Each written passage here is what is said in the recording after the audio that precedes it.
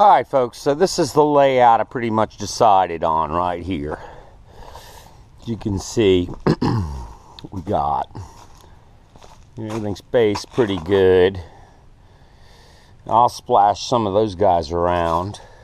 Of course, here we are planting. We'll be using the soil conditioner and some Osmocote fertilizer.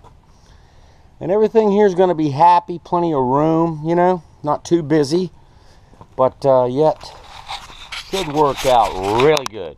So folks, let's get planting. It's about time, don't you think?